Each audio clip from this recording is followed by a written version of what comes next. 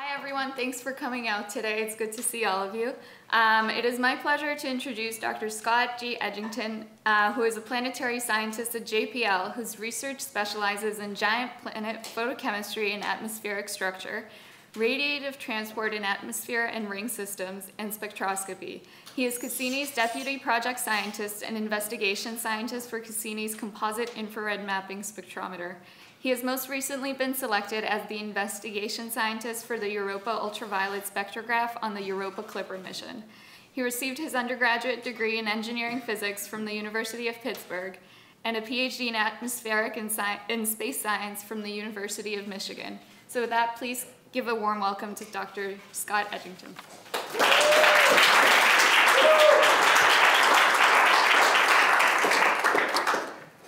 Thank you. Wow, more people than I expected. Welcome. Well, Cassini speaks for itself. Uh, 13 years orbiting Saturn, uh, just an amazing wealth of information and data that Cassini has brought back.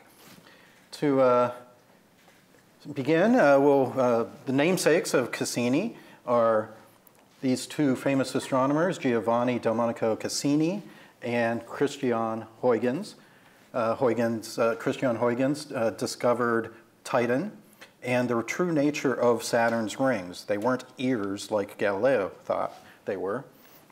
And Cassini is, of course, uh, named for, the namesake for the spacecraft itself. The Cassini division is named after him, uh, after he discovered it. And he also discovered several moons of, of uh, Saturn.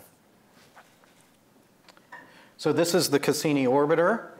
It's about two stories tall, and here's uh, some humans right here, so you could gauge uh, uh, how, how big the spacecraft actually is. Uh, in Von Karman, if you have ever, ever been to JPL, Von Karman has the half-scale model of Cassini, and the California Science Center actually has the only full-scale model of Cassini. Uh, it's ha hanging up in the atrium as you go up the escalators there uh, on your way to the exhibits. And then uh, as part of this mission, uh, we, uh, we uh, took the Huygens probe, which is a probe that was designed to land on Titan's surface after floating through the atmosphere on a parachute. And that was given to us by ESA as, as a means to fund the Cassini project and get it off the surface of the Earth. so here's some specs. You can read them uh, for your enjoyment. So uh, Cassini took off uh, in October of 1997 on a seven-year cruise to the Saturn system. 15 seconds. And here's a video of the launch. But getting out to Saturn took seven years because we needed gravity assists from the various planets. Uh, we had uh, several uh, Venus flybys, an Earth flyby, Jupiter flyby, and eventually Saturn. program is in, program is in. Now, I wasn't at the Cape at this time because I was, I was defending my PhD.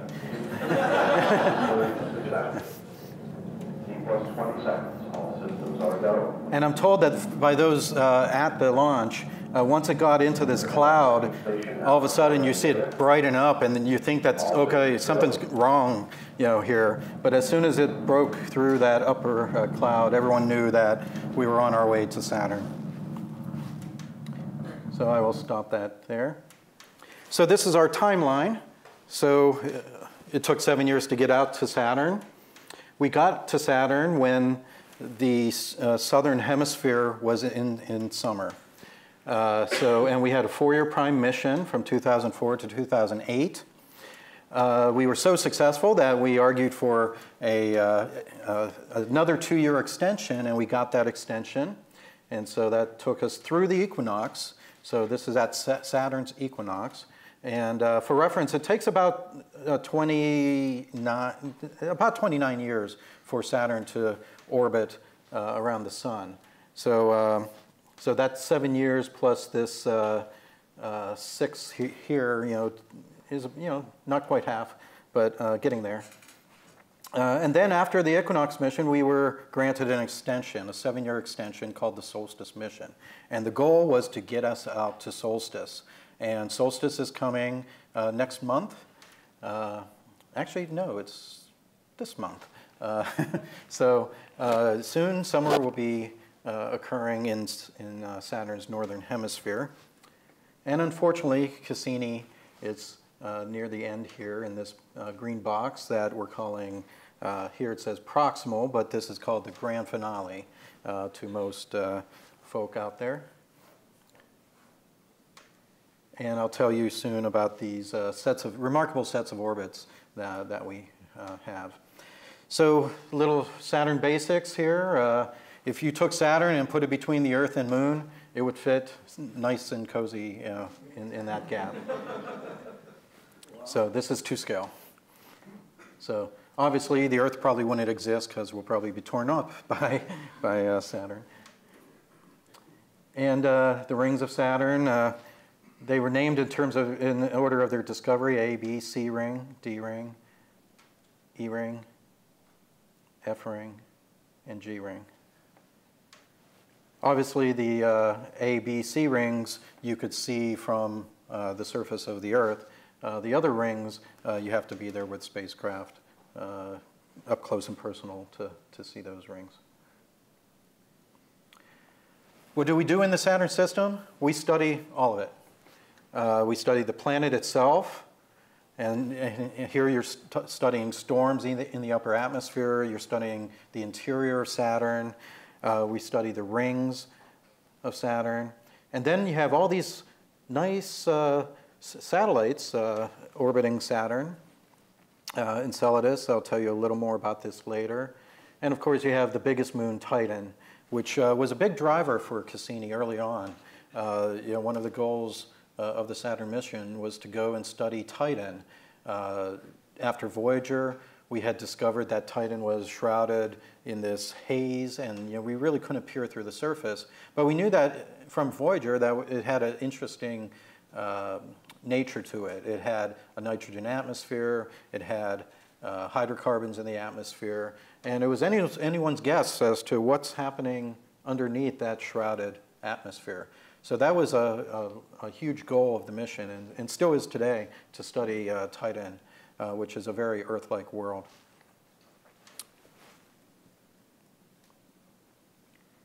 So in our many years orbiting Saturn, 13, uh, uh, nearly 13 now, uh, you know, we, we've fly, flown by Titan over 120 times, uh, 127 times to be exact, and we just had our final Titan flyby uh, on October, uh, I'm sorry, April 22nd. So that would be this one. And it's uh, kind of remarkable seeing people count down the number of Titan flybys uh, as we get to the end of the mission. And also, we've studied the other uh, bodies in the solar in, in the Saturn system. Uh, Enceladus uh, became a huge uh, goal of the extended mission and the solstice mission.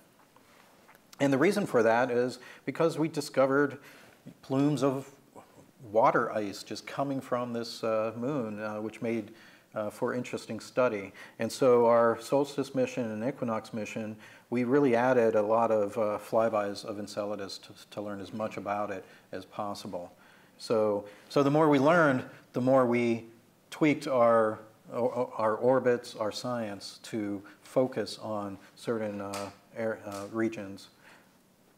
And then, of course, we've studied all these different moons of, of the Saturn system, Dione, Rhea, etc.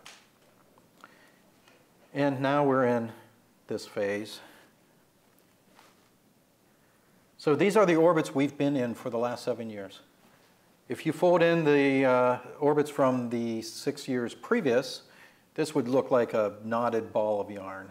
Uh, we've just been everywhere in this system, uh, near and far, uh, looking at moons, uh, Titan, the either icy satellites, the rings, Saturn itself, and then you know the reason why you want to get into these other regions around Saturn is to study the magnetic field that, that uh, surrounds Saturn, which is, uh, which is huge. Not as big as Jupiter's, but, but huge in itself. So now we're in this set of orbits, uh, highlighted in the uh, tan color. And let's blow them up. So since November of last year, we've been in uh, this set of orbits. Uh, from November to April, this gray set of orbits, and we call this our ring grazing orbits because these sets of orbits bring the periapse in close to the F ring. Uh, we've never been this close to the rings of Saturn before, and uh, you know, so we're just grazing the outer edge of those rings. And we did that 20 times. Now we're in this set of orbits that we're calling the grand finale orbits, 22 in all.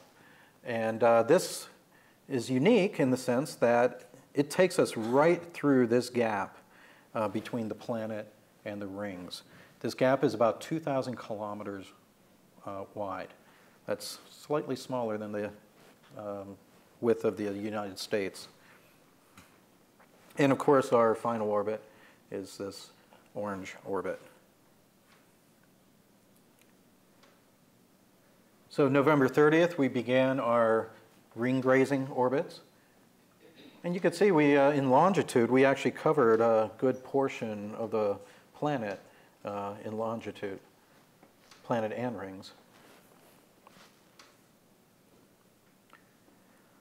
On April 22nd, so this is our final uh, orbit of the ring grazing. See, we come in, just go beyond the rings there. And then Titan is coming up here. You can see Titan there, and bam. And that tweaks us just enough to put us on the, our grand finale orbits.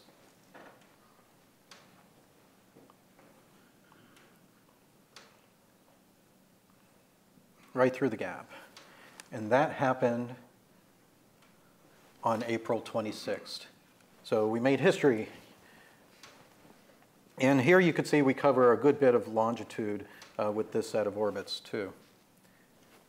So uh, on the night of uh, April 26th at midnight, we were actually at the lab uh, uh waiting for that radio signal to come down. Uh, the, we, we executed the, the, the periapse, we went through periapse, but we oriented the spacecraft such that we protected ourselves. Uh, and then scientists wanted to get back to doing science, and so uh, 22 hours later, we had our first downlink. So imagine the time that it went through here, all the way as Cassini was traveling outward, 22 hours later, you, we did not know what happened to the spacecraft. And so you're sitting there eagerly, you know, waiting for that signal, and uh, the whole uh, group uh, erupted in joy once you saw that carrier come through. And then uh, on September 11, we're going to, you know, Titan will get close enough, just a tiny little bit closer uh, to us, and that will nudge us onto our final orbit that will take us right into the planet for a September 15 impact.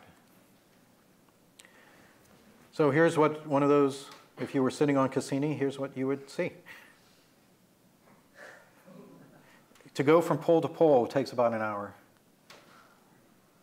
We're tra uh, traveling at 77,000 kilometers, kilometers per second. Just remarkable. I could watch that all day. so, uh, so why are we doing this, uh, this set of orbits? Uh, obviously, it's, uh, you know, all the, we have all this unique science, and I'll tell you about it uh, in, a, in a bit. But uh, the real reason why we have to do this set of orbits is that we're running out of fuel. We've used up most of our fuel that we use to control us as we fly by Titan, make our corrections to get us to our next, next des destination. And when we got to Saturn at, in 2004, we used up half of it just to get into orbit. And since then, we've been using that fuel. And so now we're out of gas. Uh, but we're also the victim of our own success. Uh, and I say that because we've discovered things in the Saturn system that have literally changed the paradigm for where we look for life. Uh, these are uh, new places to explore, uh, what NASA is calling ocean worlds. And uh, uh, one of those uh, places is Enceladus, and the other is Titan. Uh, now, of course, we knew Titan was interesting, but we didn't know that Titan was so interesting until we got there. We landed the, the Huygens probe, and we saw our first inkling of what the surface looks like. Uh, imagine when, when the probe is falling into the atmosphere, you're seeing uh, all these river channels and, and lakes, lake beds, and um, beach heads, and you're, you're saying to yourself, wow, something's uh, there's active geology here. There's liquid that has flown on this surface, or uh, that flowed on this surface at one point in time. And with Enceladus, kind of early on in the mission, uh, we had known about these tiger stripes from our early images. And you know, these are cracks in the surface of Enceladus. And we also know that Enceladus is sitting in this uh, huge E-ring uh, basically a ring of icy particles. But we, we speculated, scientists speculated, but Cassini found plumes of active uh, jets of water being coming out of the southern pole of Enceladus. So now we know that this, uh, these active jets go on to form the E-ring that Enceladus sits in. But that's, that's just one aspect. As you fly through this plume, uh, you measure the gravity, you measure the, uh, the uh, effect of the uh, particles on its surroundings, so you're measuring the magnetic field. Uh, you're also detecting molecules that you're flying through and particles that you're flying through. And so soon after, we learned that, okay, there has to be, from gravity data, uh, a pocket of water underneath the south pole of this moon but it took us uh, several more years to come to the conclusion that this uh, pocket of water is actually a global ocean. So with Enceladus, you have the icy shell, the exterior, and then you have this uh, uh liquid water ocean. Uh, otherwise, you can't explain the gravity data or the libration data that uh, Cassini has observed. so you need that liquid water ocean. But even more interesting, we've discovered evidence of geothermal activity. Basically, by, what we, by flying through this plume, we detected silica, SiO2, which is basically grains of sand on the beach, uh, but tiny, tiny grains of sand. Uh, we've detected that. We've detected excess methane in this plume of material. And just recently, we announced that we detected hydrogen, uh, molecular hydrogen in this uh, plume of material. And, uh, and the only way you get these three things uh, is if you have a rocky core where it's hot enough uh, to interact with the water. And you know, think of boiling water at the surface of this uh, core. And so we know that there's activity generating chemistry, generating the uh, molecules that we are detecting. Enceladus is literally giving out free samples to us. We've also dis discovered other organics in the plumes, and we also have detected salts in the plumes. So there's a lot of evidence that there's interesting things going on inside of this moon. With Titan, of course, we, we've discovered over time that Titan has liquid methane lakes. And uh, uh, We've been monitoring these lakes uh, over the years, looking for changes on the lakes. Uh, by, and looking at those changes, you're learning more about the, the uh, climate of Titan. And uh, who knows what happens, could happen in, in these lakes. maybe they might have harbor some sort of methanogen as a life form. And then with our cameras, we could peer through the haze of, Saturn, uh, of Titan and uh, actually detect uh, clouds uh, uh, in uh, Titan. And these are recently detected clouds a few months ago. And then just recently, we had a huge burst of clouds. So the weather activity is heating up on, on Titan as we near summer solstice. So it's an active system, interesting chemistry, uh, a unique chemistry with uh, methane replacing water. But because of these two bodies, we have to protect them. Uh, we can't basically just leave Cassini you know, free, freely orbiting uh, to uh, encounter whatever bodies it may. Uh, we have to protect these. So uh, I, I, guess around 10 years ago, we started talking about this idea. You know, what are we going to do uh, with, uh, with Cassini as we go further towards solstice? And there were various options. And one option was, okay, let's kick it out of the Saturn system. this is when we had enough fuel to do so. Uh, and maybe go visit Uranus. Uh, there was a study that it would take uh, uh another five to seven years to get out to uh, Uranus, depending on uh, exactly when you kick Cassini out of the system. there was also a proposal to put it in an orbit where it won't encounter anything for about 500 years. Well, that's kind of boring. Um, I mean, uh, if you're not encountering anything, uh, you're just uh, there floating around uh, uh, detecting magnetic field particles and maybe solar wind, uh, but you're too far to observe anything of interest. So, and then we found out about this option where the navigators came, came to us and said, hey, we got this great end of mission and you got to you know, see uh, what it is. And when they explained that we, they could actually put the spacecraft into this gap, you know, all the scientists, all their eyes lined up, uh, or uh, uh lighted up. Uh, it was just amazing to see uh, the joy that in their eyes. So that brings us to where we are now, basically. So uh, we've been getting closer and closer to Saturn over time. We've been observing uh, the weather systems of Saturn, and I'm sure you've heard of the famous hexagon uh, in, near Saturn's north pole. It's basically a jet stream, a six, six-sided jet stream. Uh, all the planets have jet streams, including the Earth.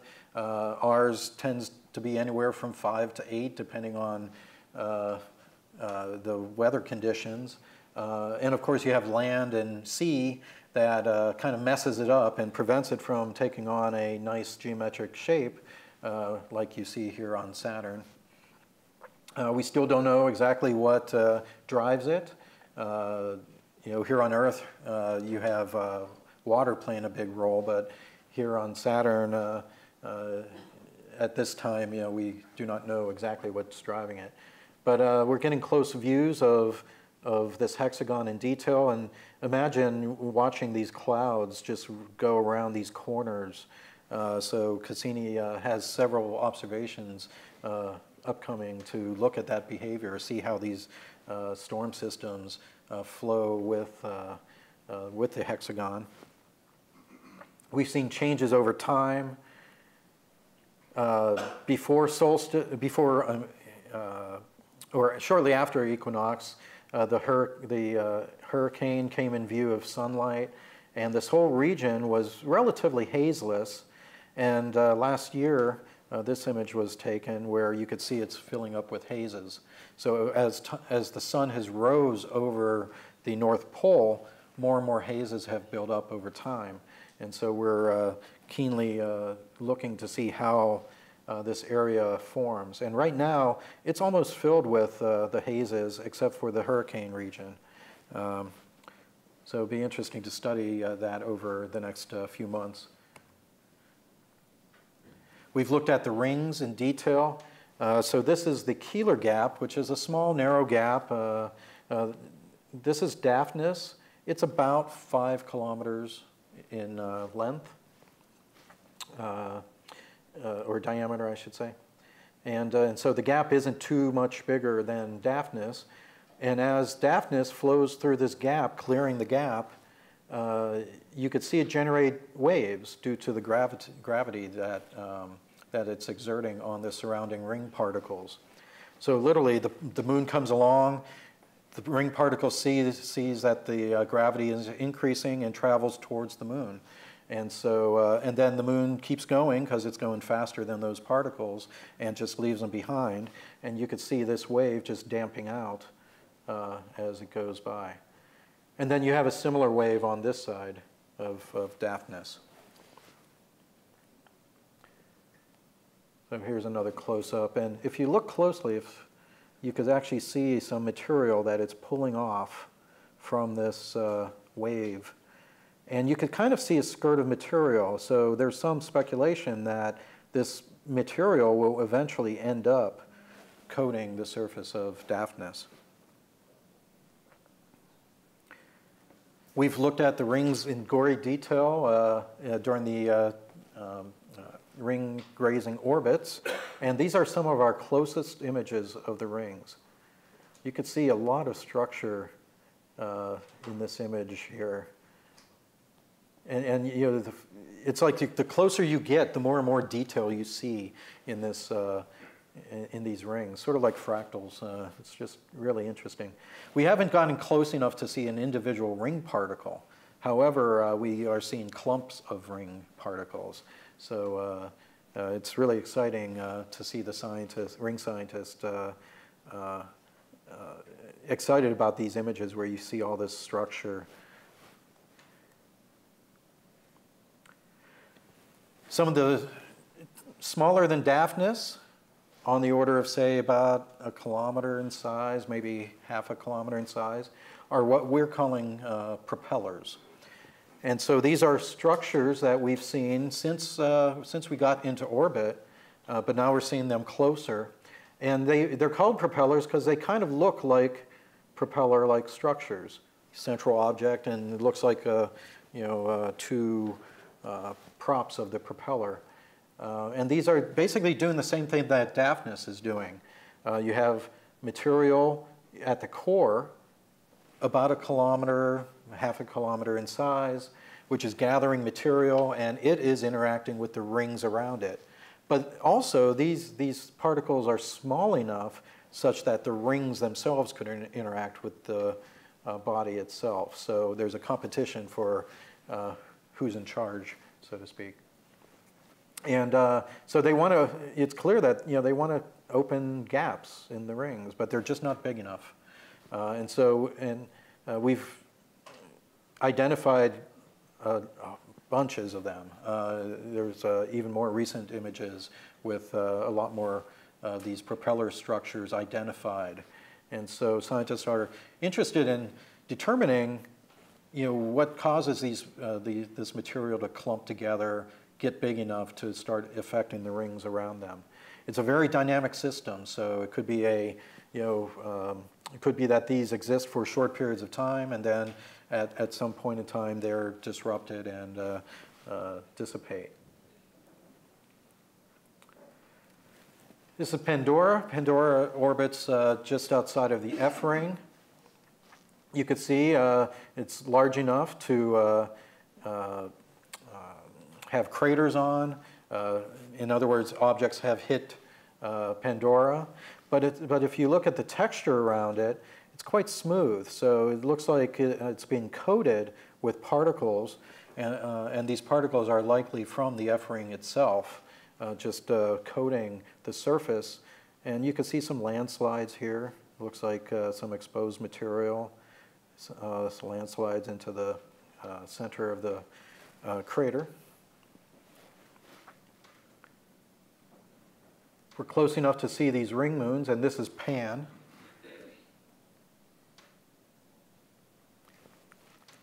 So Pan orbits in this uh, gap here. And you could see this ring of material around Pan. So it looks like there's a central core to this moon, which has a lot of uh, striations in it. So there's some geologic activity going on there, maybe some uh, tectonic activity. Uh, but you also have this uh, skirt of material which lies in the equatorial plane. So you know that this material has to be material coming from the rings itself. So as Pan is orbiting within this gap, it is gathering material from the surrounding region, forming this skirt. And this is close as we'll ever get to Pan. Here's Atlas, which orbits just outside of the A ring. And you can see the big the the uh, core, but it has an even bigger skirt of material. So this is uh, at 65 millimeter, uh, meters per pixel. Just amazing. So it looks like you have this skirt of material kind of, you know, sliding down towards the, uh, coating the rest of this core. And here's a comparison of all of them. When, when we uh, released this, uh, uh, we got a whole bunch of uh, comments in the Twitterverse uh, saying that, you know, these moons look like ravioli. or some, some, some sort of puff pastry or ravioli. Um, but you can see the, uh, they're all to scale here. Um, so uh, Pan is slightly smaller than Atlas. Uh, Pan also orbits within the rings, the Encke gap, versus Atlas being outside of the Encke, uh, outside of the rings. And the reason why uh, Atlas has more material is because it is further from Saturn. There's a competition between these bodies, these moons, and Saturn for uh, uh, which, which, determines how much material uh, could coat uh, these rings. So we think that Atlas is as big as it's really going to get. I mean, it's you know could gather more material, but it's really not going to get that much more bigger. Uh, the uh, Pan itself is a lot closer to Saturn, and so it can't grow much larger than it is now. Daphnis still has time. So, uh, onward to the F ring, uh, uh, to, um, to the grand finales. So, uh, we have all these orbits which take us within this gap. And you might ask yourself, is it safe? You're taking this uh, $3.5 billion spacecraft and flying it through this gap, and you want to know that it's safe to do that. So, so we, this is one of our best uh, images of this region uh, stretched. Uh, and the ring scientists have used uh, images like this to determine how much material is there.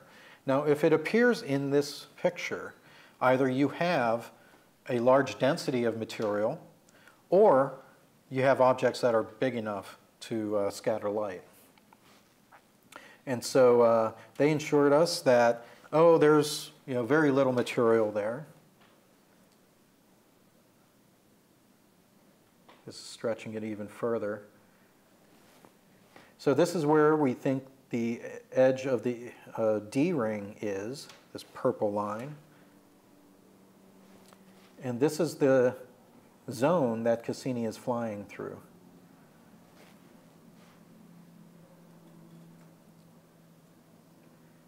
So of course you hope that, that the ring scientists are correct and that their images, uh, in their interpretation of the images.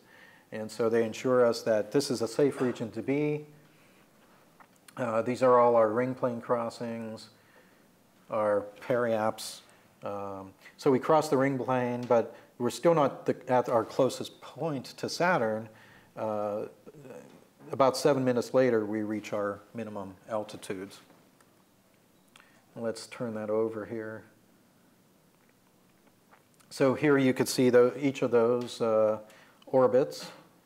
So we still, you know, this is still ring material. There's stuff here that you don't want to fly through. So we have 22 of these orbits. Roughly every six and a half days we uh, fly through periapse. And these are the altitudes that we're flying at. So in order to protect, oh, this is the, uh, what we consider the safe zone. So you could see we still have some orbits that takes us up into the D ring here, where we're expecting a lot more material than there is down in this region. And then this is the atmosphere itself. So of course you want to protect yourself when you uh, are up in this region. And how you protect yourself is that you use the high gain antenna. Basically the antenna that we use to communicate with the Earth, we could use that as a shield. It's a big, massive piece of material that could protect us.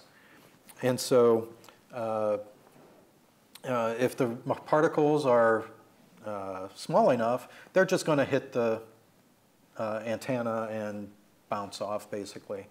But you hope that there's no big particles that will puncture through that. um, and, go, and, we're going at 77,000 uh, kilometers per second. Uh, that, that's a huge speed, and all it takes is a tiny particle, you know, about a micron in size, to really uh, do damage. So you want to protect yourself, and we chose those four orbits to protect ourselves. And of course, we didn't know what, what we're going to be flying through, so we wanted to protect ourselves for the first time uh, through here. So this was our first crossing. You can see us turning the spacecraft to its safe attitude as you go through the rings.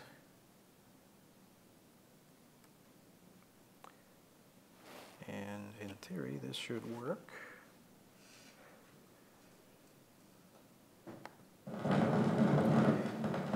So when we were outside of the rings, uh, through going through those ring grazing orbits, this is what we heard with our uh, radio plasma antennas. You could see us coming up on ring plane crossing here because the intensity of particle hits increase.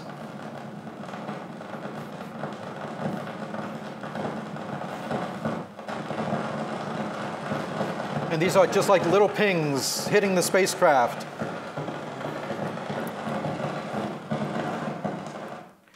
So that's what we heard outside of the rings. This is what we heard interior to the rings. In fact, you can even see the sig signal from the ring plane crossing here.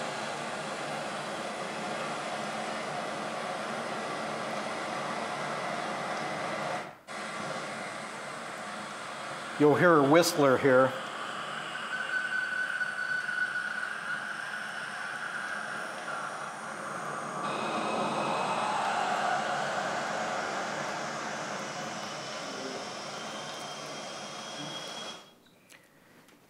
So we literally did not hear any dust hitting the spacecraft uh, as we went through that first gap. And uh, we've been there through there uh, four times, and the past three times, still no sign of the large amount of dust that, uh, that our models were saying should be there, but uh, uh, isn't. And at the same time, we're, we're imaging the planet so uh, 90 degrees away from the high gain antenna is our cameras, and so we're imaging the planet as we come along down.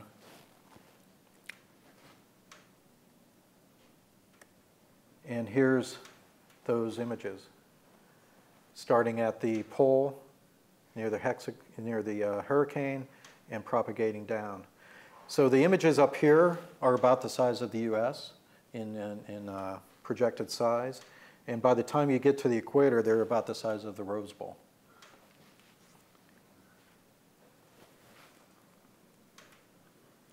Show that again.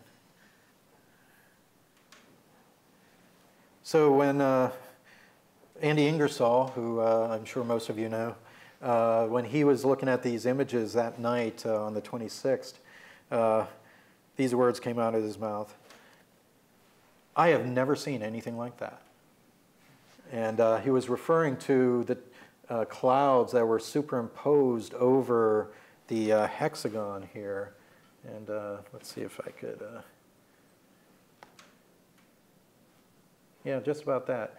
So you see these puffs of white clouds here uh, overlaying these streaks due to the jet stream. Just amazing that you could have these, this convective activity overlaid on this, uh, uh, looks like lamellar flow. Um, so here's another close-up. I mean, just these are all clouds, storms, convective activity uh, on the planet. We passed over a convective cell there. And as you get closer to the equator, you get more and more haze uh, building up in the atmosphere, so it gets less and less uh, distinct. But the imaging team have learned, has learned, that they, uh, that they could do a better job now that they have this data in hand. They can make adjustments to their settings. And so our next uh, view of the planet in this manner will be six orbits from now. And uh, they've tweaked their settings to uh, uh, better enhance images uh, near the equator to bring out the contrast.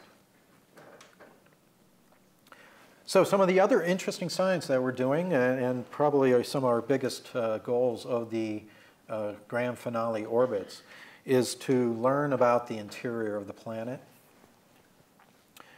So we don't know much about uh, the interior, like where does the uh, uh, atmosphere transition from a molecular hydrogen interior to a uh, basically a molec metallic hydrogen interior.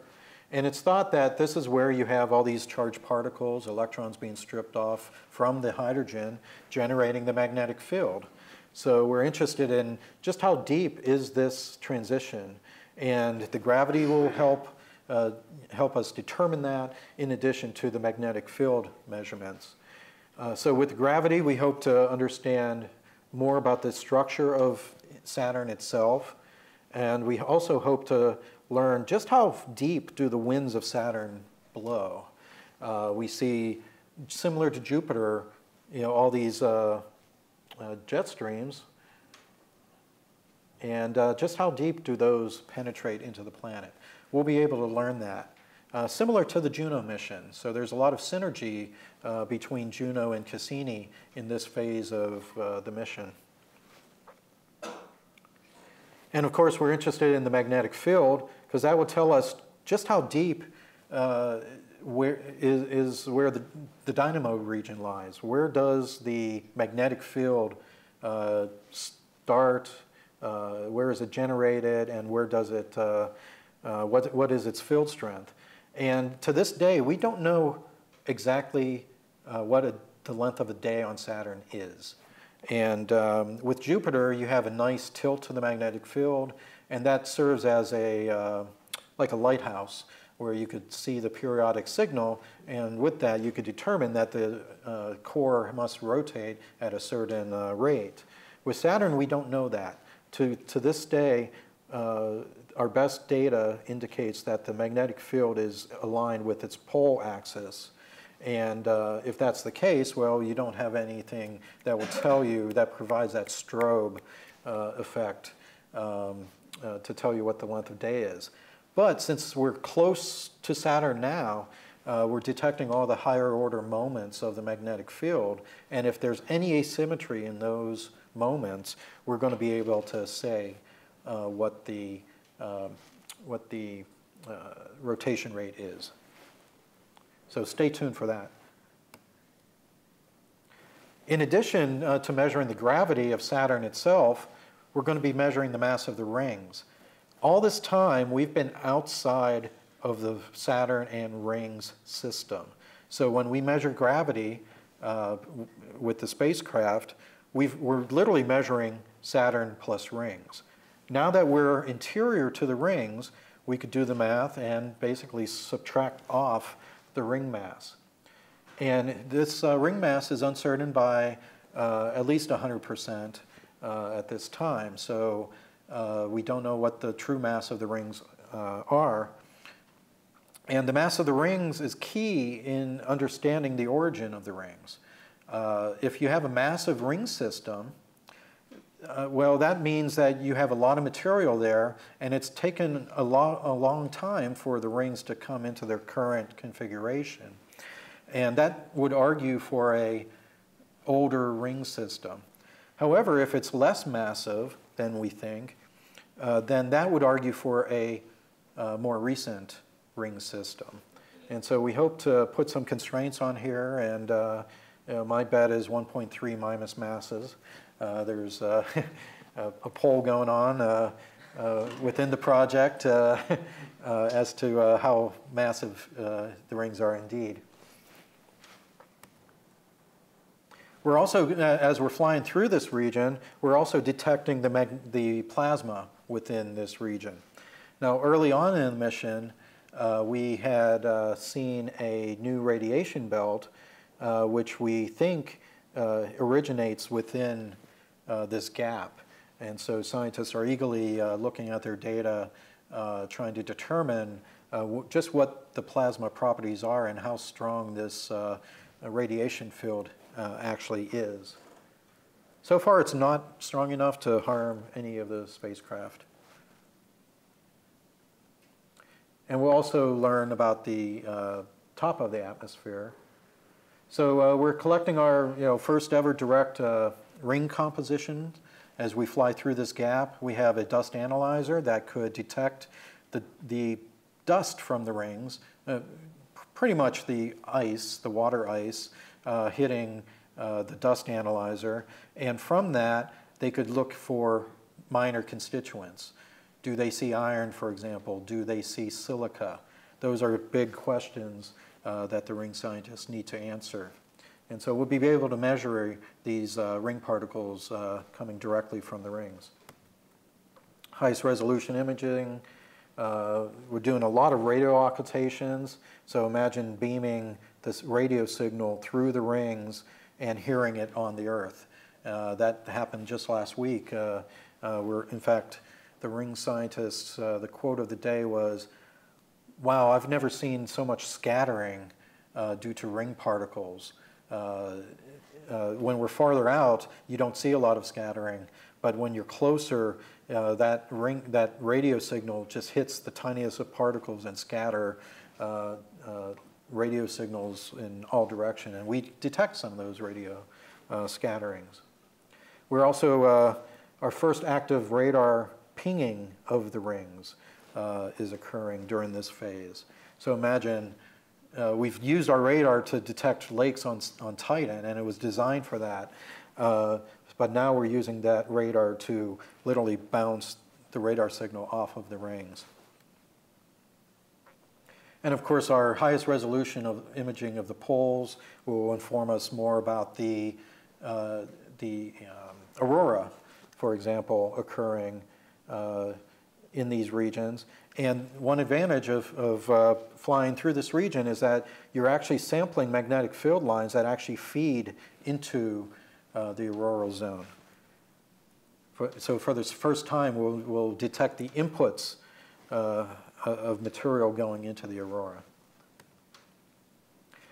And during our final days, uh, we're going to be looking for objects in the rings like Peggy. We've been tracking this object for quite some time uh, over the last few years. Uh, we think it's a, a moon that's forming. Uh, uh, it's recently been observed to have broken up into two pieces, though. So who knows if it's going to survive or not. Uh, but and, and who knows, maybe in, our, uh, in the next five months we'll see uh, you know, one of these objects just detach itself from the rings. Uh, we're going to be observing uh, Titan for the very last time.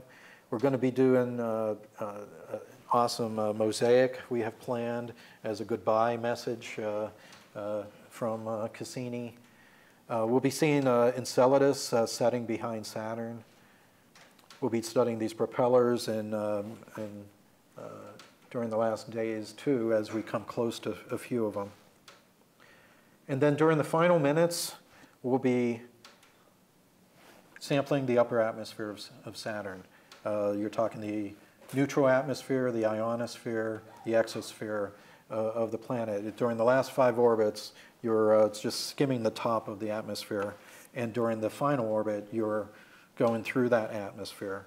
And of course, uh, we hope that the spacecraft continues uh, to re retain its uh, um, thruster authority and hope that we continue to get a signal as deep as we can. So with that,